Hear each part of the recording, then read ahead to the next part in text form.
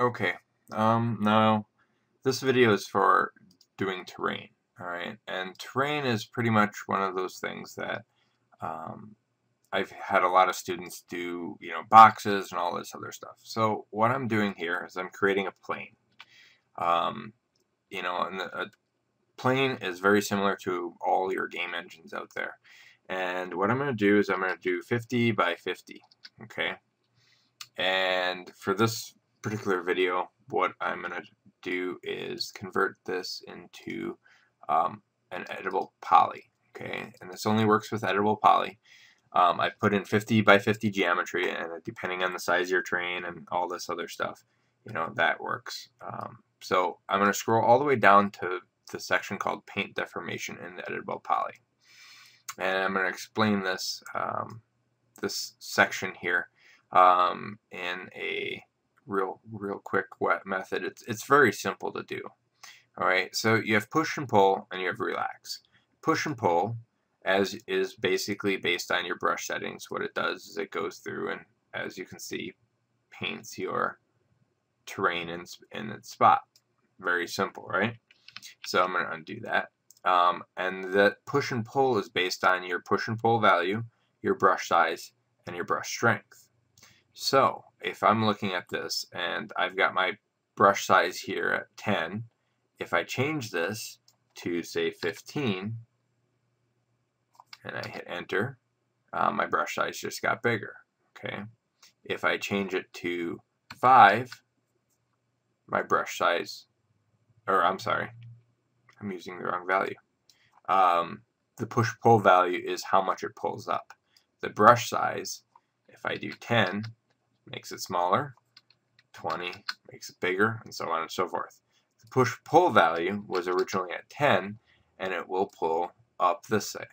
Now, if you notice, as long as I hold down and click, it'll pull up that exact value amount. And notice there will be a flat location on here.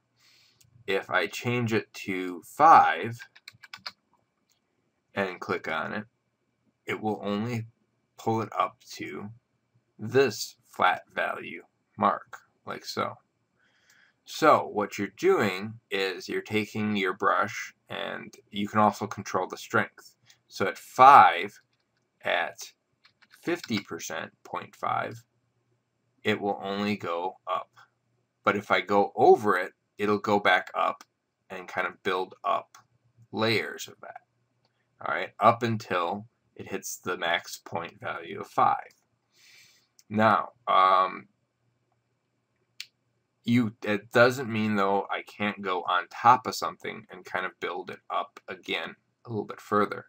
This painting method creates a, a very fast, easy way to rough out the terrain.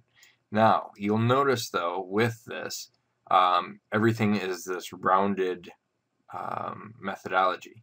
So you can actually go into your brush options and control the curve and uh, control the strength and stuff like that.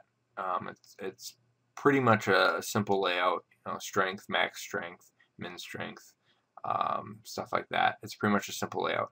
And if you hold uh, Alt, you can actually go downward in your in your terrain. Okay, so now one of the things that you'll notice, especially here, that you'll notice that things start stretching.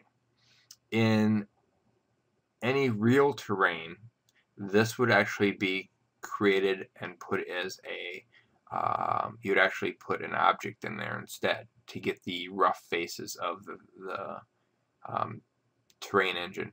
Or they would manipulate it so that it doesn't go up as much and you don't stretch these faces here. Okay, but essentially this is um, how you do how you do a basic terrain paint. All right. Now, if you'll notice that this terrain looks all smooth and personally it's it's kind of rolling hills type of thing. Now, if you don't like that and if you want more of a rockier face, you can go off of your edit poly, which I'm on there. Okay, so go off your edit poly and add a noise modifier. Adding the noise modifier will give you, I'm just going to raise some values here, and I'm just going to do fractal and I'm going to raise the values like so. So we can control our roughness so you can get a more rough or less rough feeling to this. Alright, and that gives you that ability to add that in there. And you can always collapse this and go back and smooth out and paint, but that gives you a nice rough terrain and it, and it gives you a uh, nice facing of what you're you're going to work with. Now, of course, you know, say I'm going to go in here and I'll collapse all just to get some of that geometry in there. I'm going to go back down into the paint and I'll go into relax and I'll kind of smooth out maybe some of these valleys here. Maybe there's a river going around here and you want a smoother value system. You can always also go back in and, you know, push pull like so. Alright. And of course, you know, play with the, the brush values. Now, if you notice when I painted, it went to the side here. So if I undo this and go to transform normals only in the X view, oops, forgot to hold Alt, and then paint, it will paint straight down. So that'll actually control your, your value system there as well. Alright, but this is a better way to paint terrain. And I'll just show you guys like this and take off my grid.